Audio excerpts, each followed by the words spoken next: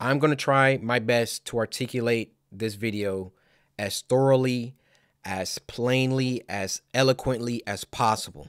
I don't want there to be any lost context. I don't want to just look like I'm coming out of nowhere having a temper tantrum because these things are happening. The allegations I am levying towards YouTube are extremely serious, and I'm taking this video extremely seriously. YouTube, you guys either play favorites, you are racist, or it's a mix of the two. These are the three options, YouTube. Which one is it? Here's my proof. I've been doing YouTube a long time, okay? I never want to be that guy, oh, it's because I'm black. Oh, these issues are happening because I'm black.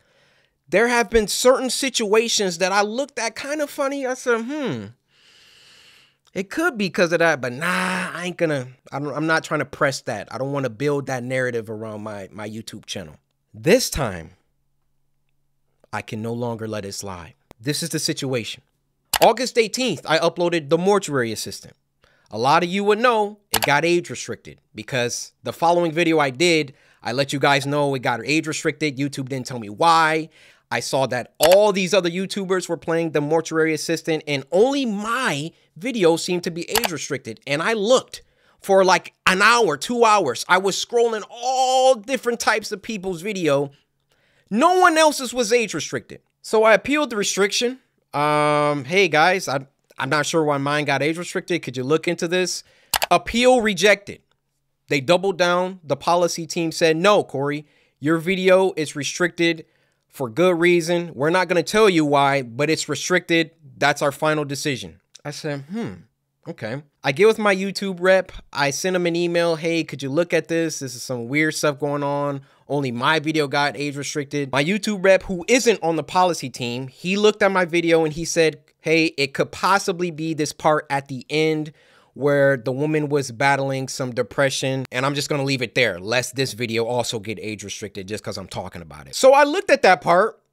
The first thing I did was try to find other YouTubers who had that part or at least a part similar. Now Markiplier, I don't know if you'll ever see this, but I just want you to know I have a lot of respect for you and I didn't mean to drag you into the middle of this. Your channel just has happens to be a great reference point because A, you're a really big YouTuber and B, you're not black. So I can look at your channel and then I can look at my channel or look at anyone else's channel and make sure that the things and the games that you play all that they're enforcing the rules equally to everybody. So I go to Markiplier's Mortuary Assistant Part 3 and he had the same situation going on and his video wasn't age restricted. So I send the video to my YouTube rep. I say, hey, um, Markiplier has this situation in his video, but his isn't age restricted.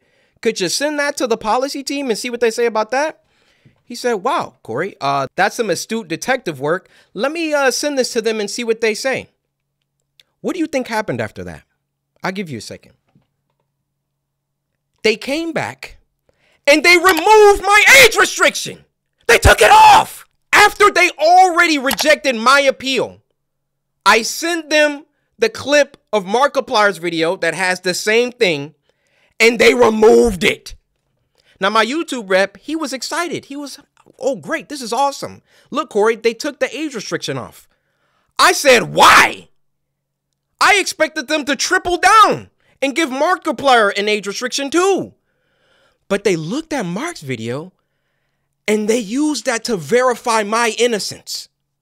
So I send my YouTube rep a lengthy email detailing my feelings about the, the entire situation, feeling like there was some favoritism at play. There was either that or some racism at play, and that I would like to sit down with the policy team and figure out why my video was flagged in the first place Actually, number one, was it automated or was it a human that age restricted it in the first place?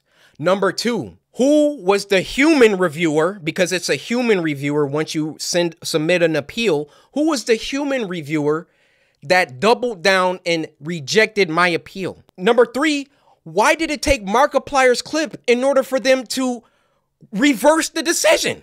My YouTube rep gets back with me. He wants to hop on a call. We get on the phone um, for about 10, 15 minutes, and I tell him, I've been feeling like this for a long time. I've been feeling like every single time that I come back to YouTube, I'm number one trending for a few days, and then they find some arbitrary issue. They nitpick and they try and find something that they can incriminate me for and try to push me down. You don't believe me? What happened the last time I came back and I was number one trending for like a week? They copyright struck me for a video that was in 2019 or something like that. Why don't these issues ever crop up when I'm not uploading?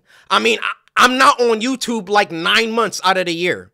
Nothing ever happens until I come back and I start uploading again and I'm getting my numbers, they're climbing, they're exploding, I'm number one trending, and then they're like, hey, we need to stop him. We need to, hey, this black man, he's getting too many views. He's, he's getting too much exposure, too much activity. Hold that thought. Let's get back to the current situation. So my YouTube rep assures me he's going to continue this dialogue with the policy team and try to get some answers to those three questions that I had. So another day, another two days go by, and what do you know? They re-age restricted the video. they re-age restricted the video. I say, no way did they do that. I go to Markiplier's video now, and now his video is age restricted. They got caught with their pants down. They got called out, and then they had to go back and say, oh, whoa, whoa, whoa, okay, we see the narrative that he's kind of pushing here. We need to take some steps back. We need to just age restrict them both and be done with it. You thought that I wasn't gonna like talk about this, make a video about it. You realize how bad this looks for you, YouTube.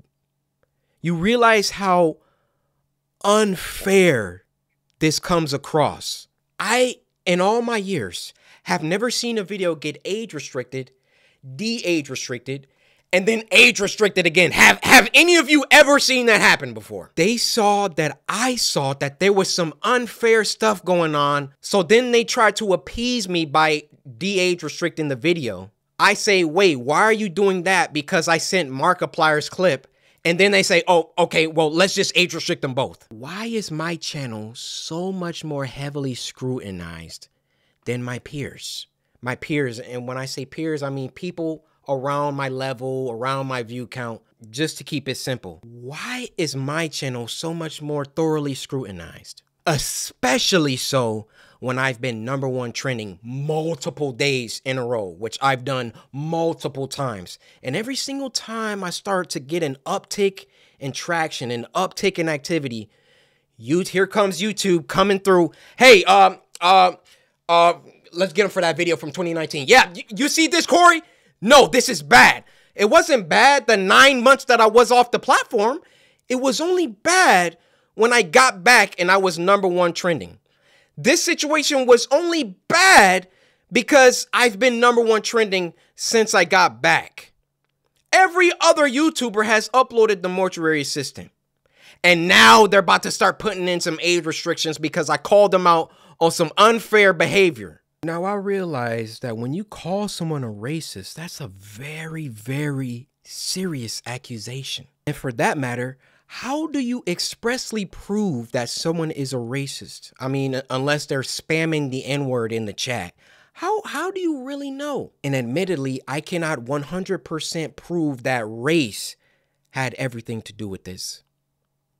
But I can tell you the people on that policy team, those shadow people that are anonymous and get to enact their will however they see fit. How can we be sure that they take a black person's video and a white person's video and it can be the same exact video and they restrict the black person's video but not the white person's video? I feel I've been mistreated for a long time. I mean, even when we hit 10 million subscribers and I was supposed to get my diamond play button and no one, there was no correspondence. These situations always coincide with an uptick of growth. And it always just comes off like we can't let this black guy get too high up. I mean, if I'm wrong, I'm wrong. I'm telling you, that's how it comes off. I don't see any other YouTuber that gets number one trending many times and then all of a sudden they're getting age restricted and they're getting copyright strikes and all of that. If I'm wrong, I'm wrong. Point them out. I want to see them. I'll retract this entire video. I'll make a public apology to YouTube. I have no problem. My dad told me if you make a mistake, be a man and address it and apologize. I will do that, no problem. But to me, you know what it comes off? It comes off whenever Cory Kenshin starts doing some crazy numbers or, or getting on trending too much. We got to find something. We got to get him for something. It's got he's got to have done something. I mean, I bleep out cuss words in video games. Like I literally this is the this is the YouTuber that you want to have smoke with and have problems with. I believe there is some racism involved within the policy team and YouTube in general really doesn't care about black people like that. Um, they got their favorite creators. You know, log out of YouTube, log out and go to YouTube, you'll see the people on the front page every single day. You'll see the favorites.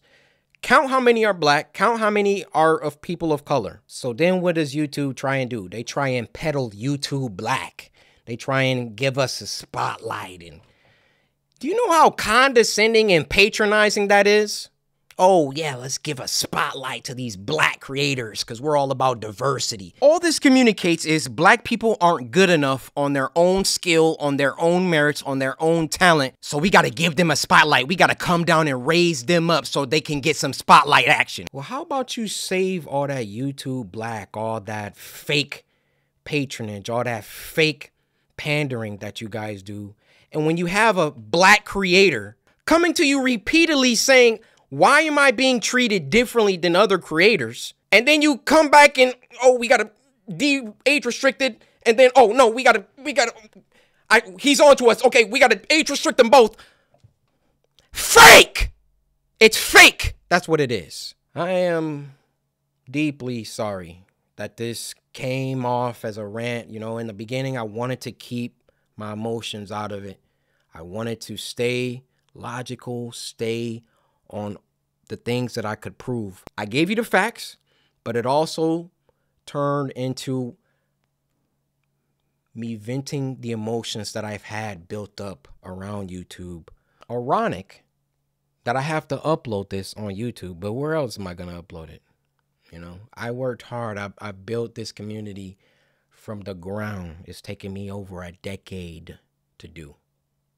And I would have just hoped that the playing field was fair and that, hey, if I did something bad, then everybody else who also did that thing should get punished too. Is that unreasonable? I have no problem being punished. I have no problem if I break a rule that I get punished for it and I learn. But when you start like when it's targeted, when you're doing things only because I'm like getting bigger or I don't know how it always seems to coincide with that situation. But that's just what it is. Now, if my YouTube channel gets shadow banned or they like, you know, they start like not sending my videos out to my subscribers or or you know, a couple months from now y'all just stop seeing my videos, we know why. We know why. I mean, those shadows behind the scenes, they control it all. They control all of it. If they don't want if they don't want my channel, they could terminate it right now. They could hide my videos. They could shadow ban me, not send my videos out to anybody. That's why I thought long and hard before I recorded this, but as one of the biggest black creators on the platform, I want you to hear it from my mouth that there is some shady business going on behind the scenes at YouTube.